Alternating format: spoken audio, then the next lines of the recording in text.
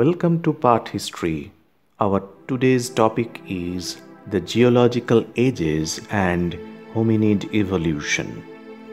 This earth and its innumerable species are part of an amazing, long, complex, and continuing drama of evolution in which human beings made a very late entry and have so far played a very minor role. The earth is about 4.5 billion years old and humans appeared on it only some 2 lakhs years ago. In recent years, advances in DNA analysis have provided important evidence regarding the process of human evolution. The foundations of geological and biological evolutionary theories were laid in the 19th century.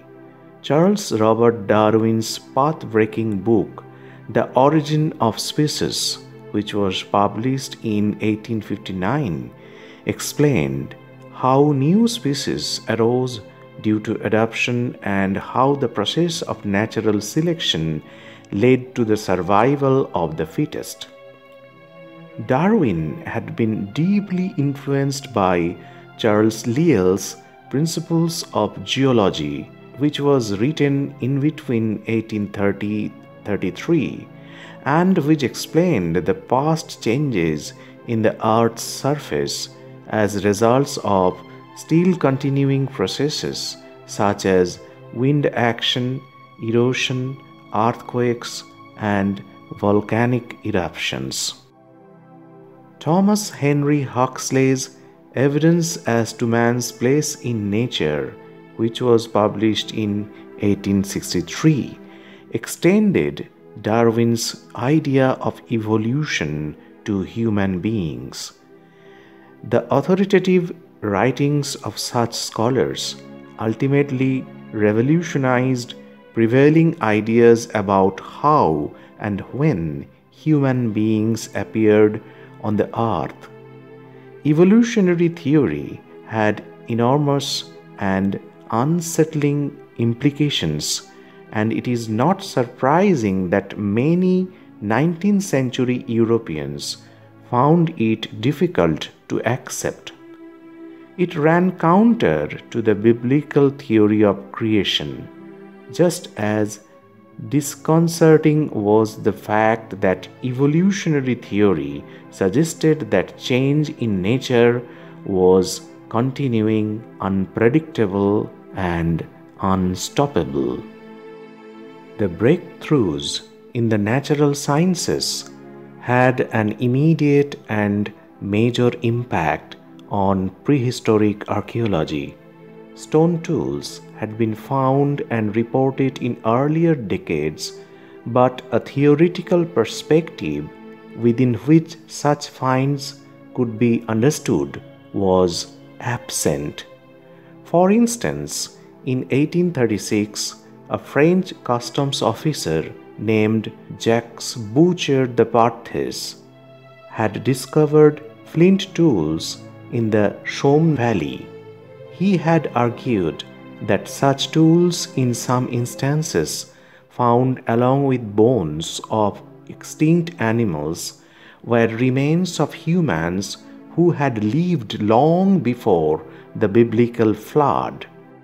His work was greeted by general skepticism until his finds were authenticated many years later by the geologists Hugh Falconer and Joseph Prestwich and the archaeologist John Evans. Today, geologists divide the history of the earth into four eras or ages related to the evolution of life forms primary or Paleozoic, secondary or Mesozoic, tertiary and quaternary. The tertiary and quaternary together form the Cenozoic or the age of mammals which began about 100 million years ago, or Mya. The Cenozoic is divided into seven epochs, of which the last two, the Pleistocene and Holocene, are especially important for the story of hominid evolution. The Pleistocene began about 1.6 Mya and the Holocene or recent period in which we live about 10,000 years ago. In biology, evolution refers to the gradual changes in the heritable features of a species population over successive generations due to changes in gene frequencies and the process of natural selection, which favors traits that help the species in adapting to the environment. Over time, this process can give rise to a new species. The terms species or specie and genus are central to discussions of evolution. A species includes organisms that are similar in physical structure and behavior and which interbreed with each other or which could do so if they had access to each other. The genus is an assemblage of related species. Take the following example the domesticated dog, wolf, and jackal all belong to the same genus Canis, which is mentioned first. The second word is the name of the species that represent. There are many differences in skin color, facial features, hair color, body build, height, etc. among modern human beings living in different parts of the world. But we all belong to the same species of anatomically modern humans, Homo sapiens sapiens. Here, the second sapiens refers to our subspecies. Homo sapiens is a Latin term meaning thinking man.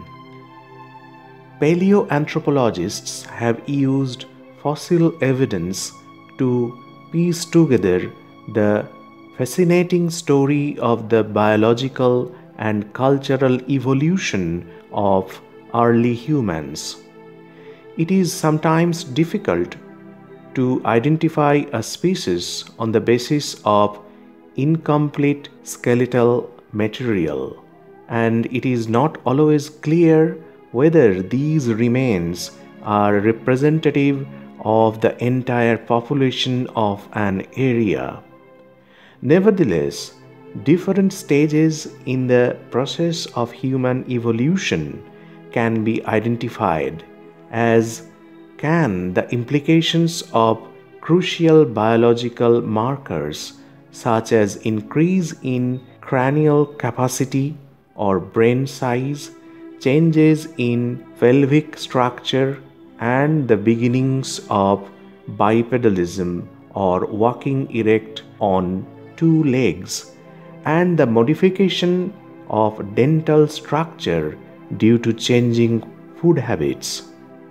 Some important aspects of the cultural evolution of early humans include the making of stone tools, the emergence of some kind of social organization, the beginnings of language, and the capacity for symbolic thought.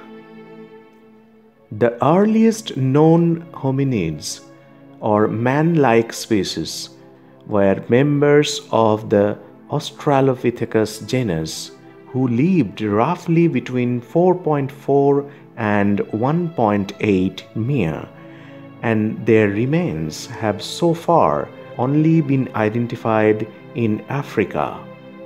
The earliest of these, Ardipithecus or Australopithecus ramidus, seems to have evolved from some common ancestor of the hominid and pongid lines in sub-Saharan Africa about 4.4 Mya, while the Australopithecines may have used naturally available material as tools. There is no conclusive evidence that they were tool makers. Fossil evidence of the earliest representatives of the genus Homo, Homo habilis, or hand using man, was found at sites such as Koobi Fora in Kenya and Olduvai in Tanzania and is dated about 2 Mya. The earliest stone tools have been found in Hadar in Ethiopia and have been dated about 2.5 Mya. Homo erectus, named for his or her fully erect posture, appeared in East Africa around 1.7 Mya. From here, the species seems to have spread to various parts of Africa, Asia, and Europe. The first Homo sapiens appeared a little less than 5 lakh years ago. From about 1 lakh 30,000 years ago, there is evidence of Homo sapiens neanderthalis or Neanderthals in various parts of Western and Central Asia and in Europe. Whether the Neanderthals evolved into Homo sapiens or whether they became extinct remains a mystery. Apart from Africa and Europe, hominid remains have also been found in various parts of Asia. Remains of Homo erectus in Java have been dated between 1 to 2 Mya and were associated with animal bones of many species but no stone tools. Remains of Homo erectus discovered in the Zhoukoudian caves 50 kilometers southwest of Beijing are dated between 0.58 to 0.25 Mya. This site also yielded over 20,000 stone tools and bones of 96 mammalian species. Thus, the geologists, anthropologists, and archaeologists are trying to discover the story of evolution. So, this is the end of our discussion. Subscribe our YouTube channel, PAATH History.